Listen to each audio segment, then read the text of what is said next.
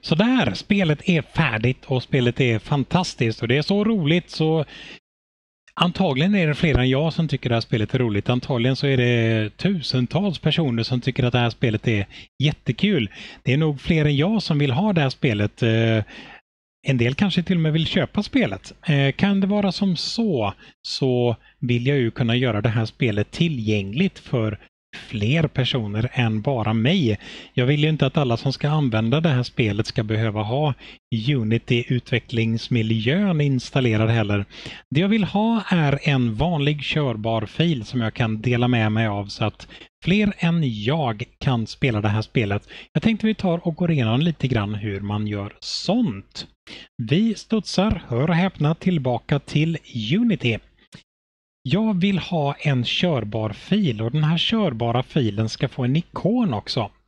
Jag har en liten ikon här och den ikonen vill jag använda mig av så den drar jag in i Textures-katalogen. För att göra det här spelet till ett körbart spel så går jag under File-menyn in på Build Settings. Jag noterar att den här enda scenen som vi använder oss av, rulla bollen-scenen, är med i mitt projekt. Det är jätteviktigt att man lägger till alla scener som ska vara med i projektet, att man bockar i dem. Nu har vi bara en scen så den ska såklart vara med. Jag kan bygga ut mitt spel för Windows 32 eller 64 bitars Windows därför att det är det som jag sitter på just nu. Om jag hade suttit på en Macintosh så hade det stått plattformen Macintosh och så vidare. Om jag hade velat bygga ut det här spelet för Linux så kan jag när jag installerar Unity eller nu också för den delen välja att ladda hem utvecklings modulerna som behövs för att kunna bygga ut spelet för just den där plattformen. Samma sak gäller om jag vill köra ut det här spelet för Xbox One exempelvis. Så klickar jag för att ladda ner någonting. Det är på det här sättet som vi gör för att kunna göra ett sånt här spel en gång i Unity och sen kan man spela det på mobiltelefonen om man vill och man kan spela dem med VR-glasögon eller HoloLens om man önskar så. En av de stora styrkorna med Unity är att vi gör spelet en gång och sen ska vi bygga ut det för alla plattformar som vi kan tänkas. Under Player Settings så får jag upp den här rutan där jag kan välja saker och ting. Jag kanske inte vill att det ska stå att det är gjort av Default Company.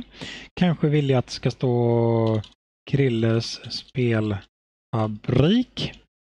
Projektet ska heta Rulla boll, säger vi. Rulla boll.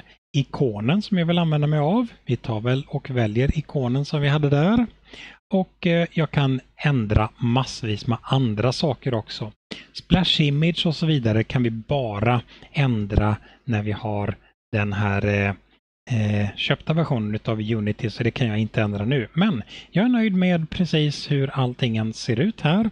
Jag kan välja om vi ska komprimera spelet och så vidare men det behövs inte riktigt i det här fallet för det är inte så hemskt stort tycker jag. Jag trycker på bildknappen och den frågar var ska vi spara det här spelet. Jag väljer var på disken jag vill spara det här i min... Vad har vi? Vi har eh, skrivbord och projektet. Jag skulle kunna ta i den här katalogen och göra en katalog som vi kallar för eh, Bills exempelvis. Och i bildskatalogen skulle vi kunna göra en katalog som heter eh, Win64 exempelvis. Och så väljer vi den mappen för att bygga ut vårt spel. Unity tänker inte så länge som man skulle kunna tro och där är spelet färdigt. Här är de filerna som behövs för att köra spelet. Vi ser att Rulla boll har fått en ikon. Vi kan nu stänga av Unity Även om det känns lite läskigt att stänga av Unity så kan vi nu stänga av Unity, stänga av alla andra saker som vi har haft igång under utvecklingen här och hoppa till rulla boll och här under Builds och Win64 se vårt spel. Så här ser det ut när vi kör spelet. Det här skulle jag kunna sippa ihop och ge till folk jag känner eller folk jag inte tycker om så de kan spela mitt spel. Om vi dubbelklickar på exe-filen får vi upp den här rutan där vi frågar hur ska grafikinställningarna vara? Låt oss säga att vi vill köra en eh, 1280-720 upplösning. Windowed med grafikinställningen Ultra och Play.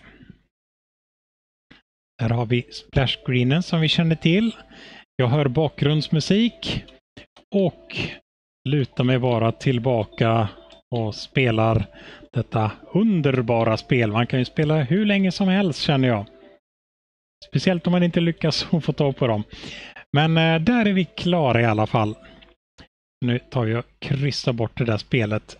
Så, det vi har lyckats med alltså är att göra ett spel. Vi började från noll och slutade med att vi hade ett spel som vi kan ge till folk vi känner och eh, de kan starta det här spelet på sina datorer eller mobiltelefoner eller Playstation eller vad man nu önskar, vad man nu vill skjuta ut det här spelet på för plattform. Det väljer vi helt själva, vad vi vill skjuta ut det. Det är det vad jag hade tänkt att gå igenom med idag. Hoppas ni har lärt er massvis. Vi har verkligen gått igenom hur mycket som helst i Unity idag. Massa saker har vi nämnt och massa saker har vi fått lära oss. Jag tackar för uppmärksamheten. Au revoir!